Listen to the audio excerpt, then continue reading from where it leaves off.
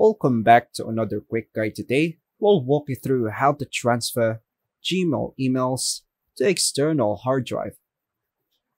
Here are the clear steps to help you transfer Gmail emails to an external hard drive on Windows computer. First is to open your Windows PC and connect to the internet and open your preferred web browser. Go to takeout.google.com and your browser. Sign in your Gmail account if you're not already logged in. On the Takeout page, click the Select All to avoid downloading all your Google data. Scroll down and check only the box for mail. This includes all your Gmail emails. Click the All Mail Data Included button to customize. Here, you can choose specific labels or download everything, then click OK when done. Scroll to the bottom of the page and click Next Step. Under Delivery Method, choose Send Download Link via email. And Frequency, choose Export Once. In File Type and Size, select that zip file type easiest for Windows.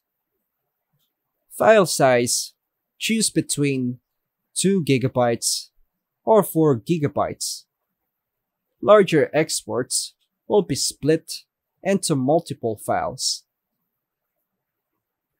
Click the Create Export button. Wait for Google to prepare your emails. This may take minutes or hours depending on the amount. Now once it's already been exported, click Reload. Save to external hard drive. Once you receive an email from Google titled, Your data is ready to download, click the download. Then there is a prompt to provide password to move forward. So make sure to put that out. After the zip file downloads, connect your external hard drive to your PC via USB.